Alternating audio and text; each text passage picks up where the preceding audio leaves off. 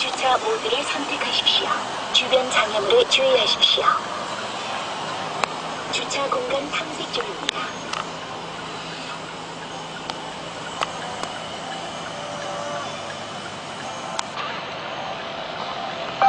정지 후 후진 기어를 넣어주십시오.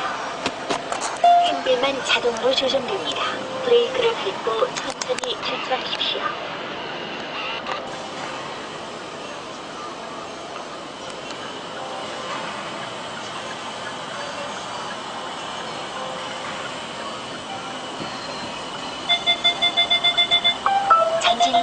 넣어주십시오.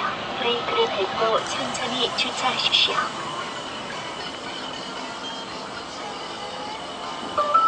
주차 지원을 완료하였습니다.